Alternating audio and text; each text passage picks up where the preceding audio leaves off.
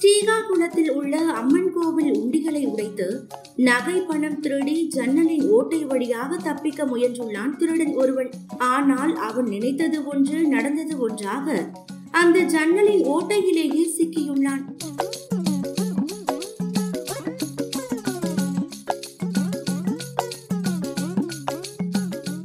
பின்னர் செய்வதறியாது தன்னை காப்பாற்றும்படி கதறிய நிலையில் கிராம மக்கள் அவனை ஓட்டையிலிருந்து மீட்டு போலீசில் ஒப்படைத்து உள்ளனர்.